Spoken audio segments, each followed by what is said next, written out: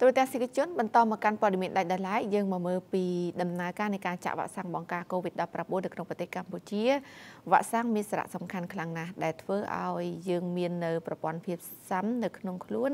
ការពារការឆ្លងរាលដាលធ្ងន់ធ្ងរនៃជំងឺ COVID-19 បច្ចុប្បន្ននេះដំណើរការនៃការចាក់វ៉ាក់សាំងបង្ការ COVID-19 គឺឈានដល់ដូសទី6ហើយ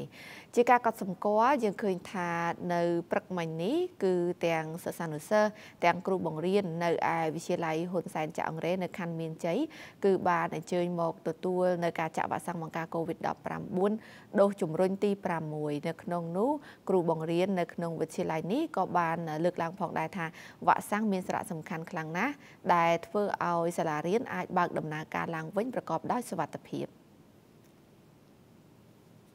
ការ ចាក់ដោះទី5រួចហើយហ្នឹងក៏វាធ្វើឲ្យយើងហ្នឹងអាចបង្ការនៅ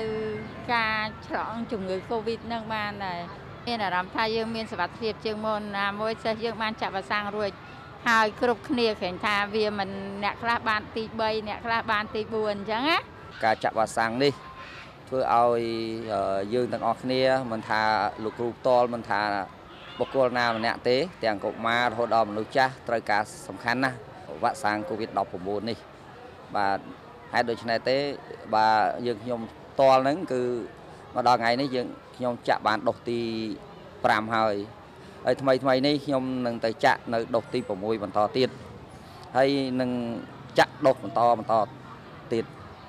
ហេតុដូច្នេះហើយនេះបង្ហាញអំពីការយកចិត្តទុកដាក់របស់រាជរដ្ឋាភិបាលជាពិសេសសម្ដេចតេជោហ៊ុនសែនគាត់គិត ពីប្រយោជន៍ប្រជាពលរដ្ឋខ្មែរជាធំបាទមិនថាអ្នកក្រមិនថាអ្នកមានមិនថាអ្នកនៅក្នុងនយោបាយគឺប្រជាពលរដ្ឋនៅក្នុងប្រទេសរបស់គាត់គាត់អត់គិតថាអ្នកណាណីទេគាត់ជួយទាំងអស់ធ្វើម៉េចឲ្យខ្មែរយើង បានសុខភាពល្អនិងពោពេញទៅដោយ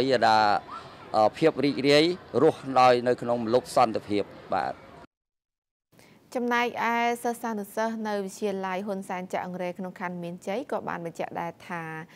ការចាក់វ៉ាក់សាំងបង្ការ COVID-19 មានប្រយោជន៍សម្រាប់ពួកគាត់ជាខ្លាំងជាពិសេសគឺអាចធ្វើឲ្យពួកគាត់រៀននៅសាលាដោយផ្ទាល់មានភាពងាយស្រួលជាងរៀនតាមអនឡាញខណៈដែលកន្លងមកមានការឆ្លងរីករាលដាលនៃជំងឺ COVID-19 ច្រើនពួកគាត់មិនអាចមករៀននៅសាលាផ្ទាល់បានទេហើយវ៉ាក់សាំងនេះក៏ផ្ដល់នូវសុវត្ថិភាពដ៏ល្អសម្រាប់ពួកគាត់នៅក្នុងការសិក្សាផងដែរពួកគាត់បានលើកឡើងយ៉ាងដូចនេះ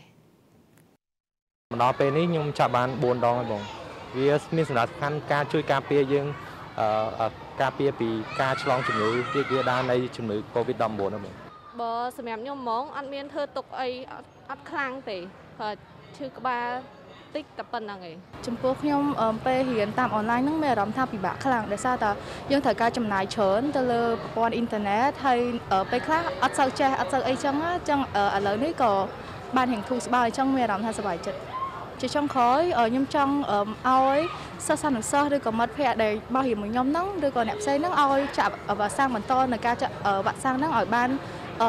គ្រប់ដោសដើម្បីបង្ការជំងឺ Covid ហ្នឹង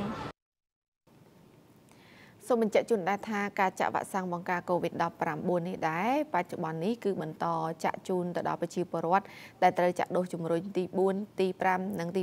6ហើយក្នុងនោះគឺក្រសួងសុខាភិបាល បានបន្តបើកដំណើរការនៃការចាក់នេះគឺនៅតាមគ្រឹះស្ថានសាធារណៈ របស់រដ្ឋចាគឺស្ថានសុខាភិបាលសាធារណៈហើយរួមទាំងមាននៅការចាក់តាមទីតាំងចល័តមួយចំនួនផងដែរដែលមានការសហការពីខាងក្រសួងសុខាភិបាលជាមួយនឹងផ្នែកពាក់ព័ន្ធ